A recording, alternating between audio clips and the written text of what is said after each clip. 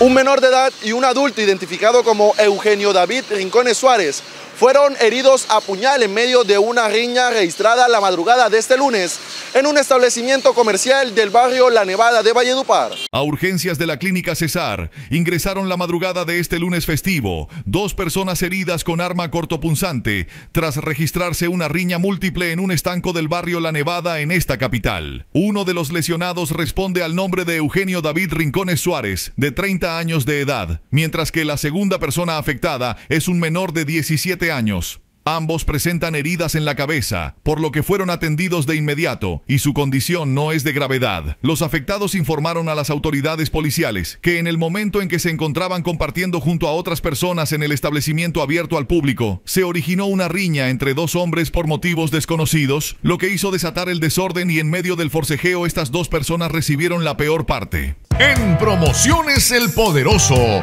estrena al ritmo de la moda. Promociones El Poderoso. Jeans, blusas, camisas, pantalones y la mejor variedad como siempre en Promociones El Poderoso. Ah, y para los niños también. Promociones El Poderoso. Estamos ubicados frente al Parque de las Almojábanas, La Paz Cesar. Promociones El Poderoso.